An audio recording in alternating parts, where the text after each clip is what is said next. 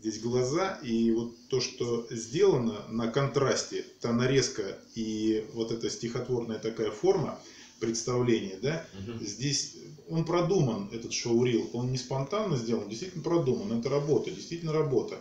Не просто представление себя, как бы, да, а здесь опять же существует некая интрига. Здесь есть развязочка, кульминация и все прочее. То есть это вот такой, если мы говорим там этюд, этюд, не этюд, то это уже мини-кинофильм, как бы. Здесь да, человек работал, и здесь видна серьезная работа. Хоро- Хорошо снято. Можно, конечно, добавить здесь еще больше, вы правы, совершенно верно. Здесь можно и ракурсы добавить, поиграть ракурсами.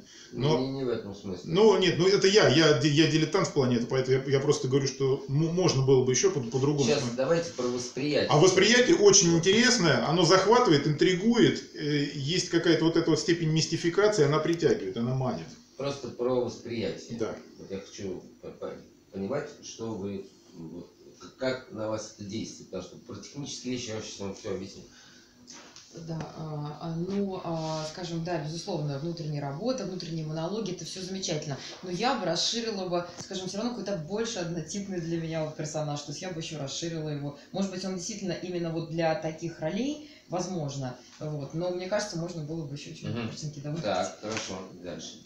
Мне, с одной стороны, понравилось, с другой стороны, для меня было мрачновато все эти образы смотреть. которые я Хорошо.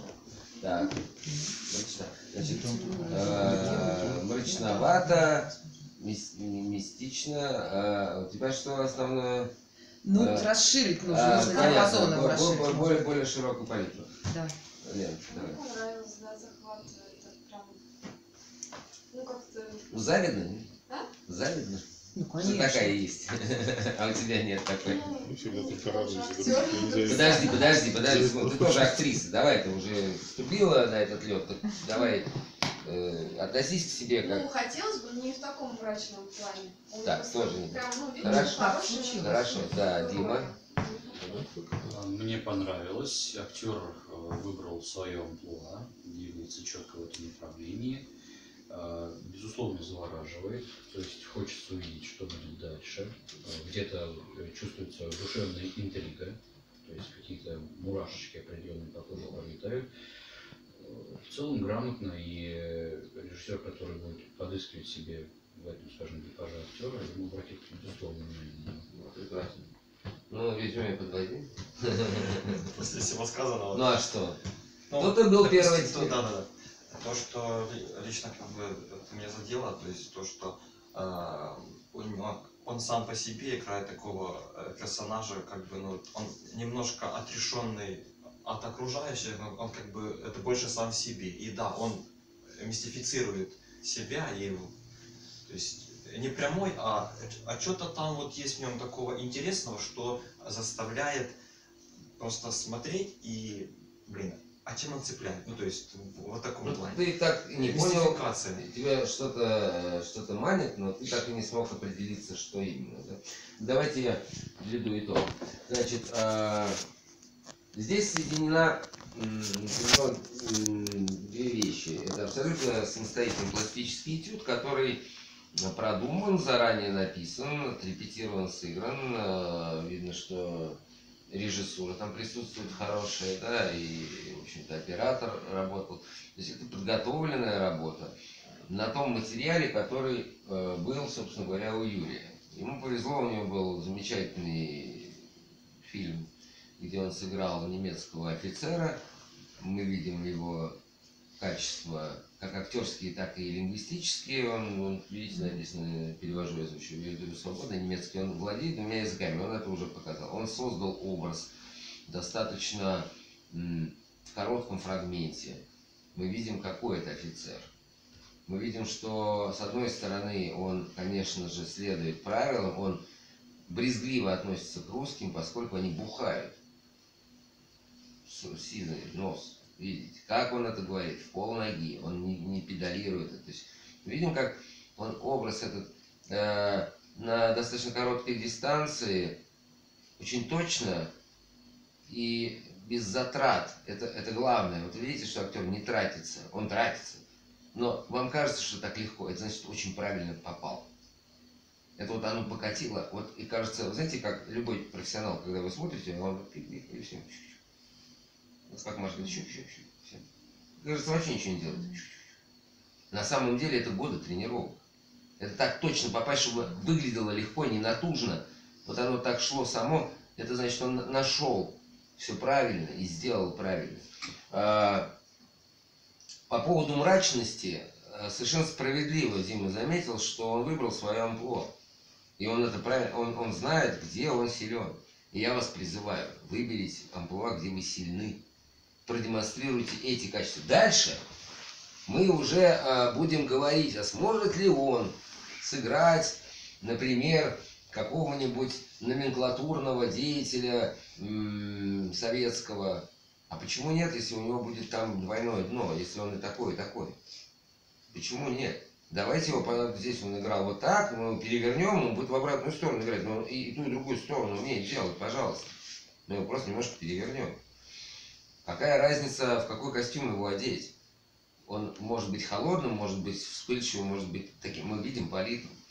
А, Лишнего, мне кажется, здесь история с доской, которая ни о чем нам не говорит, о том, что он только может быть спокойным и отрешенным, но после вот этого второго включения э, с бокалом э, спиной, мне бы хотелось, наверное, сразу к социалке переходить, потому что в социалке он ярче.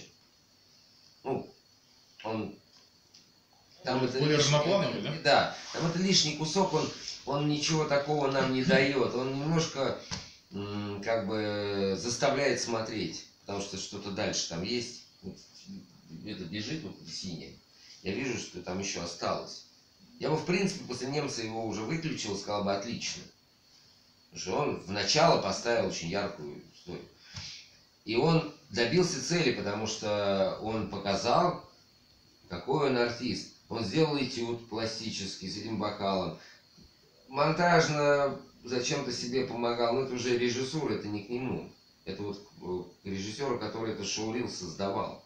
Он придумал интерьер, свет, позу, нару- налокотники эти, бокал вина. Он такой бухгалтер, эстет, какая-то странная печатная машинка или какие-то весы медицинские, вот это, эти занавески. То есть там, в принципе, его поместили в какой-то антураж, в котором он выглядит тоже не- не- несколько мистическим персонажем. Он и- не тот, и не другой, и не третий. Он некто, читающий текст, причем достаточно противным, как мне показалось сначала голосом, потом ты понимаешь, что это его ноу-хау.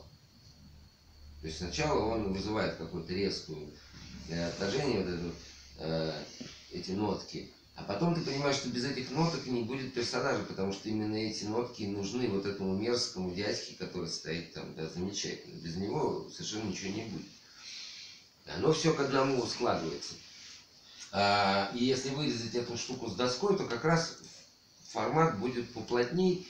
И эта история, а, которую приносить можно, собственно говоря, режиссерам, и они, несомненно, а, будут по крайней мере, если это крупный проект, на финальный кастинг сразу звать, потому что уже в костюме, с партнером, посмотреть, ну, то есть там, когда речь идет о бюджете под миллион долларов за серию, да, там никто на, на слово не, не верит, там, там и не таких еще актеров пробовать будут. Снимать сцену, да, смотреть, показывать главным там вот на канале, чтобы они утверждали. Все равно без этого ни- никуда. В проектах попроще даже пробовать не будут, просто заберут костюм, грим, фото- фотографии, утвердить образ вот такой, да, и все. Потому что этого больше, более чем достаточно для таких средних проектов. Я имею в виду топ-проект Первого канала, каких-нибудь там, вот типа ликвидации, там, или вот оттепели вот Тодоровского, они будут делать пробы. Но это нормально. Это вот, ну, в кинопроизводстве, когда ты берешь костяк и хочешь посмотреть, как работает костюмер и художник по костюму, как работает гример, художник по гриму, как работает твой оператор в локации. Там есть деньги на запуск, там есть, там будут встречи, читки, э, пробы многочисленные, разных сцен, попробовать пластически, как сочетаются эти актеры. Значит, в сложной сцене, э, которая статична, в динамической сцене, где там эмоции нужно как-то проявлять и так далее. Смотрят сочетания, как они вообще вместе существуют, красивыми, подходят они друг другу, не подходят и так далее. Все равно будут вызывать, но это, это дорого. Это дорого, и это правильно, но это дорого. Поэтому если, если бюджет большой и хороший, э, конкуренция у вас будет выше, потому что вас будут пробовать уже как будто снимают. Но все равно а, там будет получаться уже кадр из э, настоящей картины. И если он подходит, ну да, то есть тут, тут уж знаете как, вот вам выдали шанс, вот 9 из 10 ваши берите, вот сыграли, уже, уже все, как бы. Да. Но тут только от вас зависит.